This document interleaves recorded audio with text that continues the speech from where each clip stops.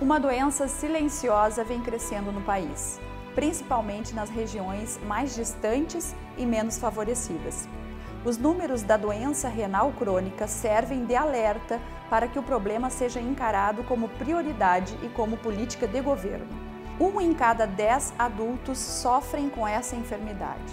No Brasil, pelo menos 133 mil pessoas dependem de hemodiálise. O número cresceu 100% nos últimos 10 anos. E estudos indicam que, a cada ano, mais de 20 mil pacientes entram em hemodiálise.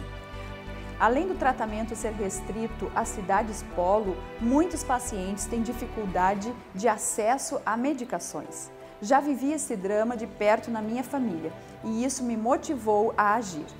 Como deputada estadual, instituí e incluí no calendário oficial de eventos do Rio Grande do Sul a Semana Estadual de Prevenção de Doenças Renais e o Dia do Rim. A mobilização ocorre em março, todos os anos. Na Câmara dos Deputados, defendo o fortalecimento das políticas de prevenção das doenças renais também o estímulo às ações educativas pela sociedade civil, pela classe médica, por instituições de saúde e pelo poder público. A ampliação dos serviços para quem depende de diálise é vital. Quem necessita desse tratamento fica impedido de cumprir sua carga horária de trabalho.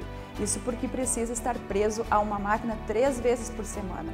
E quando o município em que mora não tem tal recurso, o paciente tem que viajar para outras cidades. Isso é uma situação muito difícil. Temos que popularizar o exame de creatinina. Ele deve ser incorporado pelo Ministério da Saúde como uma política pública de saúde da família, ajudando especialmente os grupos de risco, como hipertensos, diabéticos e obesos. Por isso, fortalecer a prevenção e ampliar o alcance do tratamento oferecido pelo SUS deve ser uma causa de todos. São vidas que podem ser salvas. Estamos juntos nesta causa.